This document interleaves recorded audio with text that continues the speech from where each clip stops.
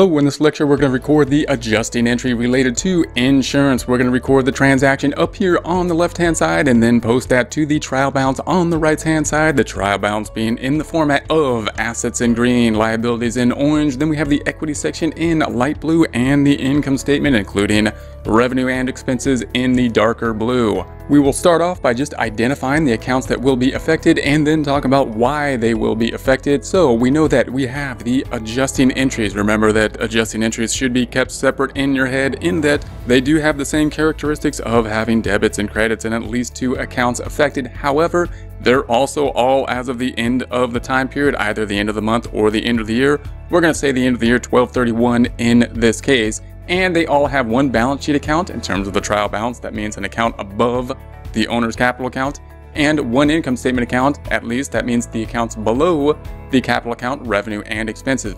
If we know that and we look at the trial balance, we can then determine which accounts will be affected even if we don't really know what's going on. For example, we're talking about an insurance expense and if we look above this blue line for something related to insurance, we can see how about, hmm, prepaid insurance, that looks like one of the accounts that will be in our adjusting entry.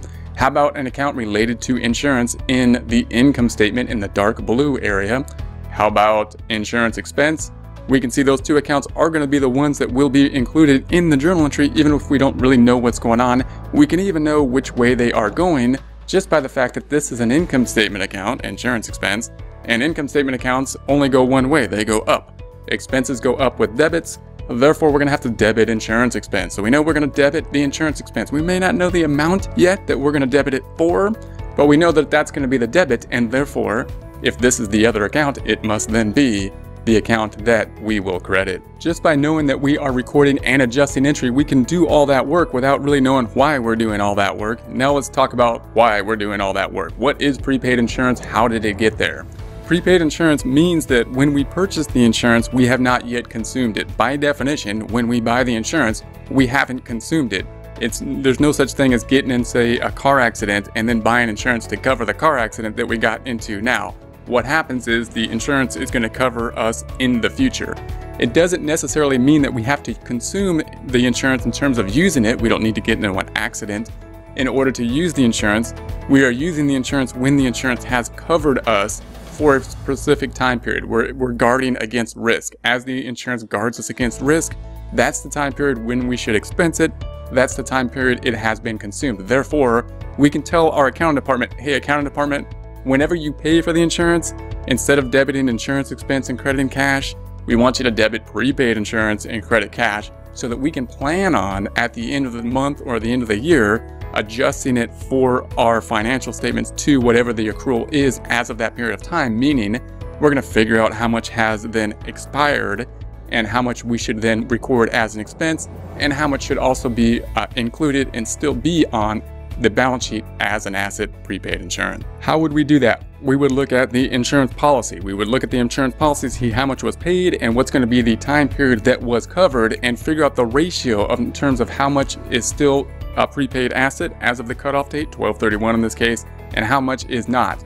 In this case, we're saying that the determination when we did this calculation is that as of the end of the year, we should still have 4,000 in prepaid insurance.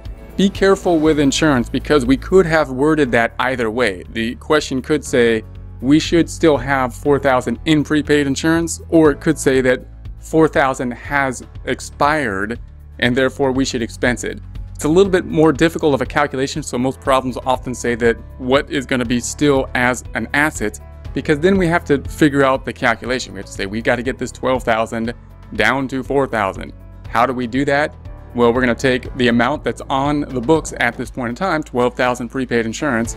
We determine from our calculation that there's 4,000 that is still not consumed as of the end of the cutoff date, 1231 in this case. We subtract that out then we have an adjustment of 8,000, meaning 12,000 needs to be decreased by our calculation of 8,000 to bring us to the 4,000, the amount that we determined was not yet expired as of the cutoff date.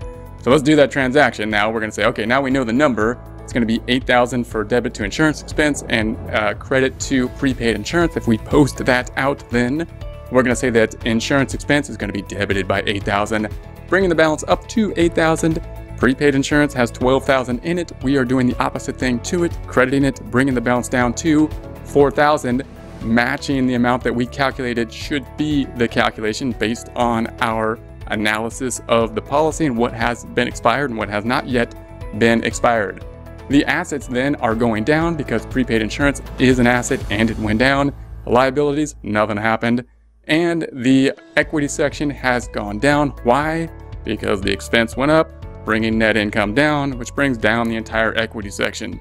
If we look at net income, we can see that we had net income before of 89,980, revenue minus expenses, credits winning. We then debited by 8,000, bringing the balance down to 81,980 for net income.